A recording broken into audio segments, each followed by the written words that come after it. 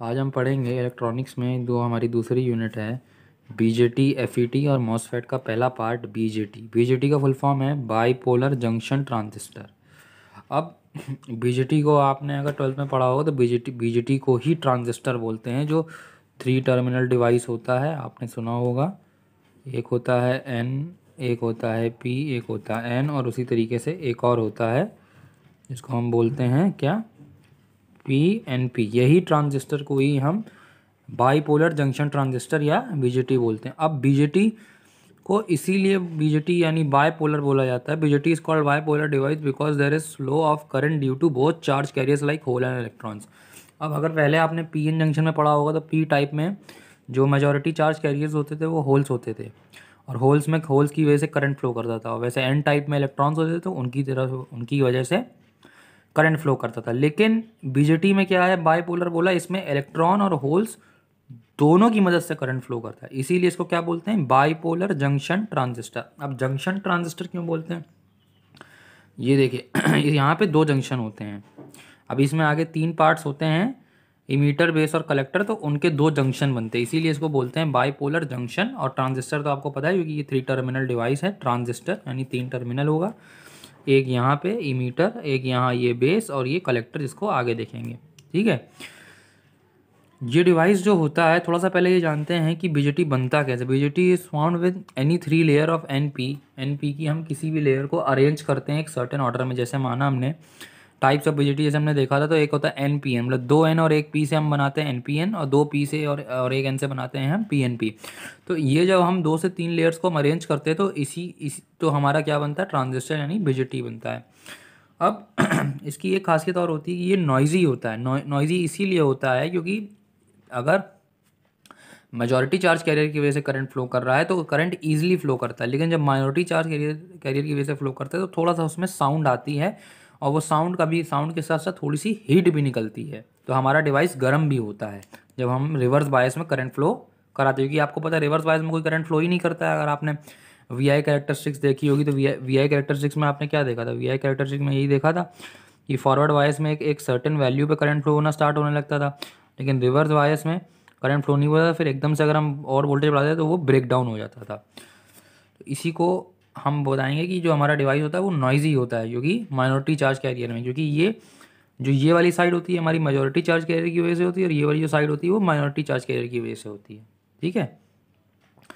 अब दो तरीके के ट्रांजिस्टर आपको बताएँ एक एनपीएन और एक पीएनपी अब एनपीएन अब एनपीएन में आप देखिए, इसमें दो एन टाइप की लेयर और एक पी टाइप की लेयर है। तो in npn transistor, we can see that the majority or two layers of n are present. So, n has elect, n n type का आपको पता है कि मेजोरिटी में क्या होता है? इलेक्ट्रॉन्स मेजोरिटी में होते हैं। इलेक्ट्रॉन्स मेजोरिटी में होते हैं तो जो मेजोरिटी चार्ज कैरियर होंगे, वो क्या होंगे? इलेक्ट्रॉन्स होंगे। और माइनॉरिटी चार्ज कैरियर क्या होंगे? हमारे होल्स होंगे। मतलब जिसकी, देखिए, इसमें एन की ज़्यादा लेयर प्रेजेंट है तो ये जो इसमें मेजोरिटी चार्ज के हमें पता है कि एन में करंट कौन कौन कौन डोमिनेट करता है मतलब करंट किसकी वजह से होता है इलेक्ट्रॉन की वजह से होता है। तो इलेक्ट्रॉन हमारे क्या हो जाएँगे? मेजोरिटी चार्ज कैरियर होंगे। और जबकि आपको बताया है कि जो बिजिटी होता है, वो बाईपोलर डिवाइस होता है तो मेजोरिटी के साथ साथ माइनॉरिटी की वजह से भी करंट फ्लो करेगा। तो माइनॉरिटी चार्ज कैरियर क्या हो जाएँगे? होल्स हो जाएँगे। तो मेजोरिटी चार्ज कैरियर हो गए इलेक्ट्रॉन्स और माइनॉरिटी चार्ज कैरियर हो गए होल्स अगर मेजोरिटी चार्ज कैरियर इलेक्ट्रॉन्स हैं तो जो करंट होगा वो किसकी वजह से होगा? इलेक्ट्रॉन की वजह से होगा। वैसे ही पीएनपी में देखें पीएनपी में हमने देखा कि भाई दो लेयर पी की हैं, एक लेयर एन की है। तो हमारा जो ट्रांजिस्टर होगा वो, जिसमें मेजोरिटी चार्ज कैरियर कौन से होंगे? अब पी टाइप पी टाइप की वजह से होगा क्योंकि पी टाइप ज़्यादा है।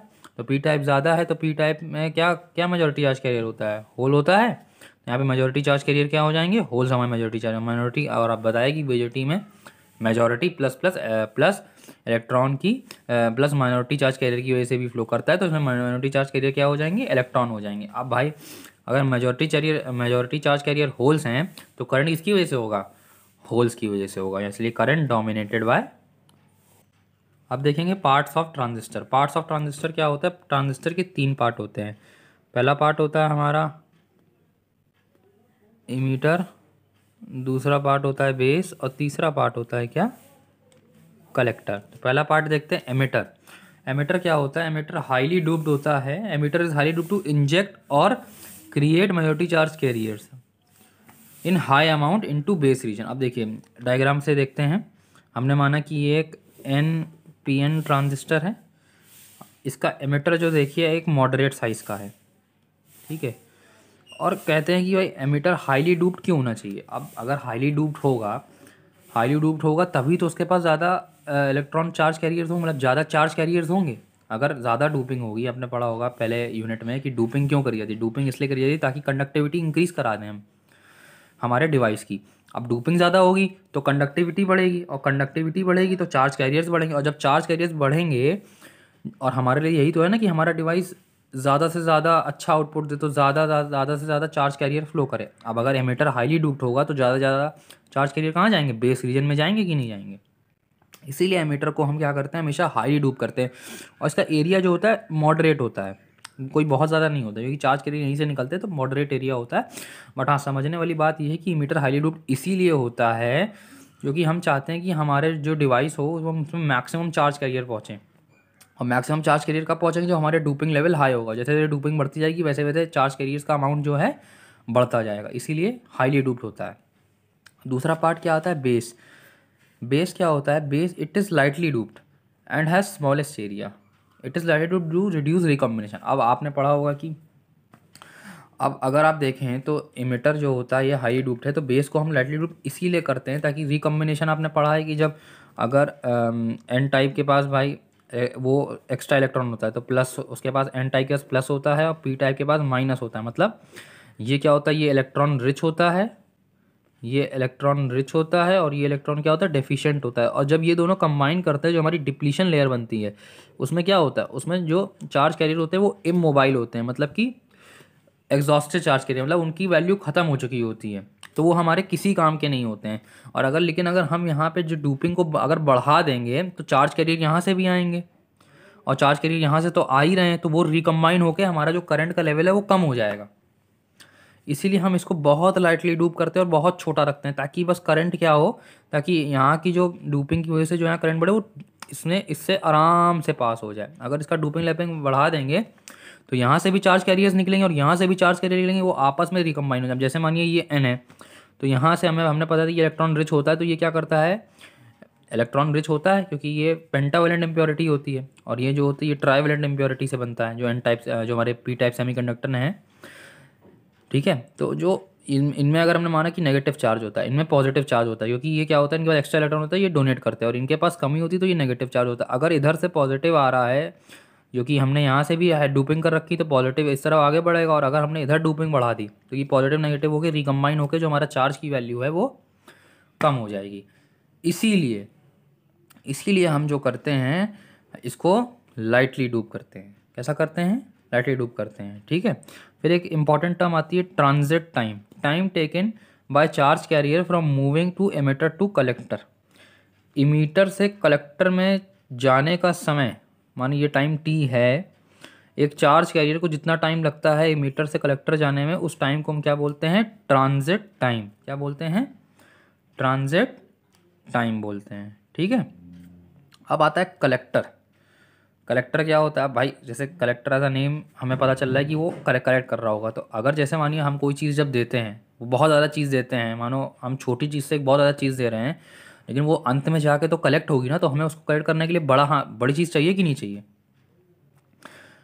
सपोज़ आपने मानिए कुछ बनाया, आपने कुछ बनाया तो उसको छोटे से बर्तन में आपने बनाया मतलब आपने चलिए कस्टर्ड बना रहे हैं आप, आपने क्या करा एक लीटर का दूध के भगवाने में आपने उसको बनाया, फिर उसमें बाद में आपने फ्रूट्स डाले और बाकी सब चीज़ें डाली तो उसका वॉल्यूम और उसकी चीज़ें जो बढ़ जाती है, इसलिए हमें कलेक्ट करने के लिए क्या चाहिए थी, ज़्यादा बड़ी चीज़ चाहिए होती है एक लीटर से ज़्यादा बड़ी चीज़ चाहिए होती है वैसे ही काम कलेक्टर का भी होता है। अब एमीटर है। एमेटर से कलेक्टर में जाना है। एमीटर से कलेक्टर में जब पहले एमीटर से बेस बेस से कलेक्टर जाएगा। तो जो कलेक्टर में जाएगा तो कलेक्टर हमारा कैसा होना चाहिए? बड़ा होना चाहिए। It it should be moderately doped and largest in size to collect high number of free charge carrier मतलब हमारा ये ज़्यादा बड़ा होना चाहिए, ताकि ये ज़्यादा ज़्यादा चार्ज कैरियर्स को कलेक्ट कर सके। मॉडरेटली डूप इसीलिए होना चाहिए, क्योंकि हमने बोला था ये हाईली डूप ये हाईली डूप हो गया। और ये लाइटली डूब करते हैं ताकि यहाँ बिल्कुल भी चार्ज करंट का लॉस ना हो। और इसको मॉडरेटली डूप इसीलिए करते हैं ताकि अगर हम इसको भी लाइटली डूब करेंगे तो करंट इतना ज़्यादा हो जाएगा कि हमारी डिवाइस टूट जाएगी।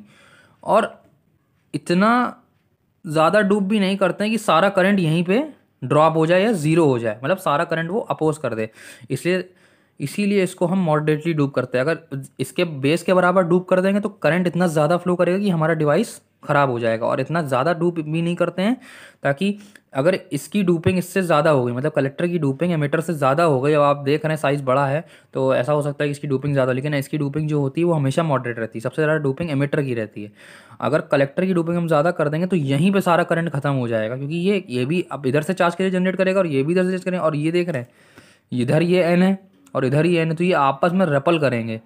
तो यहाँ जो डिप्लीशन लेयर हमारी बढ़ जाएगी और यहाँ पे भी हमारा डिवाइस ख़राब हो जाएगा।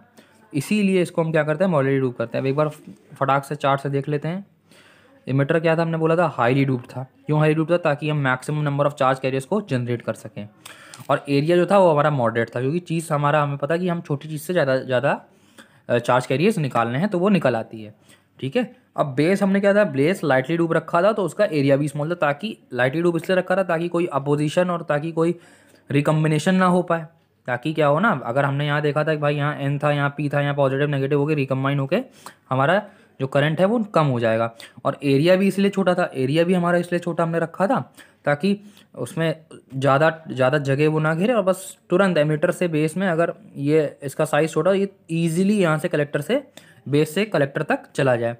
अब कलेक्टर हमने बोला था कि कैसा था? मॉडरेटली डूप इसलिए रखा था क्योंकि बहुत ज़्यादा कम डूपिंग हमने इसलिए रखी थी। अगर बहुत ज़्यादा कम डूपिंग रखेंगे तो हमारी डिवाइस ख़राब हो जाएगी और बहुत ज़्यादा डूपिंग रखेंगे तो भी हमारी डिवाइस ख़राब हो जाएगी। कम रखेंगे तो हमारी डिवाइस यहाँ से ब्रेक हो जाएगी। मतलब बेस से जो करंट आएगा वो इतनी तेज़ी से फ्लो करेगा तो भी डिवाइस ब्रेक हो जाएगा और इतना ज़्यादा कर देंगे कि सारा करंट यहाँ पर ड्रॉप हो जाएगा और यहाँ पे रिवर यहाँ पर हीटिंग की वजह से हमारा डिवाइस ख़राब हो जाएगा। लेकिन उसका एरिया क्या होता है? लार्जेस्ट एरिया होता है। वो हमने कस्टर्ड वाले एग्ज़ाम्पल से देखा था कि हमारा जो एरिया होना चाहिए जब कलेक्ट करने के लिए, वो हमेशा क्या होना चाहिए?